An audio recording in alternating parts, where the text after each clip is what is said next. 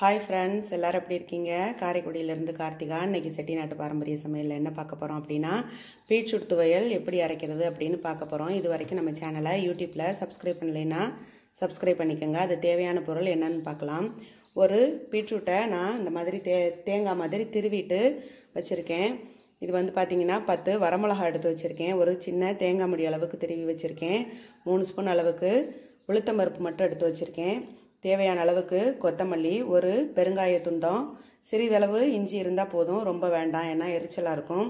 மூணு வெள்ளைப்பூண்டு பல் தோல் நீக்கி எடுத்து வச்சுருக்கேன். புளி பார்த்தீங்கன்னா ஒரு துண்டம். அதாவது கொட்டை அதாவது கடையில் நம்ம வாங்கும்போது பார்த்தீங்கன்னா குத்து புளியாக இருந்துச்சுன்னா கை குத்து புளியாக இருந்துச்சுன்னா அது வாங்குங்க. அப்படி இருந்துச்சுன்னா அதில் மூணு சொல்ல எடுத்துக்கோங்க. இல்லைன்னா அதில் தோலோ கொட்டையோ இருந்துச்சுன்னா எடுத்துருங்க. அதுக்கு தேவையான அளவு உப்பு எடுத்துக்கலாம். பீட்ரூட் பார்த்தீங்கன்னா சாதாரணமாகவே இனிப்பு சத்து உள்ளது. அதனால் பத்து வரமிளகா நான் எடுத்திருக்கேன். ஏன்னா தேங்காயும் இனிப்பு சத்து உள்ளது பீட்ரூட்டும் இனிப்பு சத்து உள்ளது. அதனால் வரமிளகா பத்து எடுத்திருக்கேன். இப்போ எப்படி தளிக்கலான்னு பார்க்கலாம் வாங்க. பாத்திரத்தில் எண்ணெய் காய வச்சுட்டு முதல்ல பெருங்காய தொண்டத்தை போட்டுக்குவோம். பெருங்காயம் பொரியட்டும். அதுக்கப்புறமா நம்ம உளுத்தப்பருப்பை சேர்த்துக்கலாம். பெருங்காயம் நல்லா பொரிஞ்சிச்சு இப்போ நம்ம உளுந்தம்பருப்பை அதில் சேர்த்துக்குவோம். எவ்வளோதுக்கு உளுந்தம்பருப்பு நம்ம சேர்க்குறோமோ அவ்வளோதுக்கு சட்னி நல்லா டேஸ்ட்டாக இருக்கும். பிள்ளைங்க இந்த பீட்ரூட்லாம் ஒழுங்காக சாப்பிடாதுங்க. வெட்டி போட்டு கொடுத்தோனால ஒழுங்காக சாப்பிடாதுங்க. இந்த மாதிரி திருவிட்டு சட்னியாக வச்சு கொடுத்தோன்னா தோசை சாதத்துக்கெலாம் ரொம்ப சூப்பராக இருக்கும். உளுத்தம் பருப்பு நல்லா செவக்க ஆரம்பிச்சிருச்சு. இப்போ நம்ம வெள்ளைப்பூண்டையும் இஞ்சியும் அதில் சேர்த்துக்குவோம்.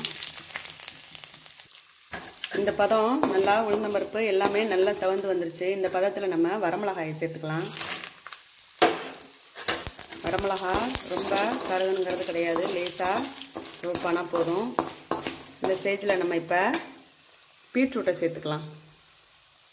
பீட்ரூட் வந்து தண்ணி சத்து நிறைய இருக்கும். அந்த தண்ணி சத்து பூரா அந்த எண்ணெயில் நல்லா வதங்கி ட்ரை ஆகணும். அந்தளவுக்கு நம்ம அதை வதக்கிக்கணும். தண்ணி சத்தோட இருந்துச்சுன்னா நல்லா இருக்காது. சட்னி பச்சை வாடை அடிக்கும். சீக்கிரமாகவும் கெட்டு போயிடும் ஒரு பீட்ரூட் இருந்தாலே போதுமானது. ரொம்ப ஈஸியான சிம்பிளான ஒரு துவையல் இது. நீங்களும் செஞ்சு பார்த்தீங்கன்னா பிடிக்கும் உங்களுக்கும்.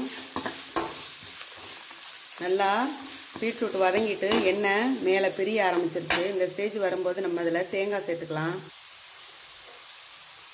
தேங்காயை சேர்த்துட்டு தேங்காயும் நல்லா நம்ம வதக்கிக்கிறோம் நல்லா வாசமாக இருக்குது ரொம்ப வாசமாக இருக்குது இந்த பீட்ரூட்டு எண்ணெயில் அப்படியே வறுபட்டோன்னா ரொம்ப வாசமாக இருக்குது சேர்த்து ஒன்றா கிளறி விட்டுருவோம்.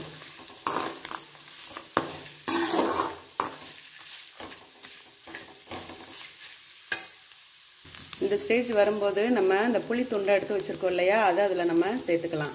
புளியை சேர்த்துட்டு ஒரு வதக்கு வதக்கிட்டு அதுக்கப்புறமா நம்ம மல்லித்தலை சேர்த்துக்கலாம்.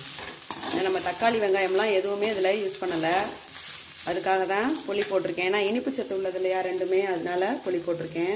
இப்போ அதுக்கு தேவையான அளவு கொத்தமல்லி போட்டுக்கலாம். கொத்தமல்லி தேவைன்னா போட்டுக்கலாம் இல்லைன்னா வேண்டாம்.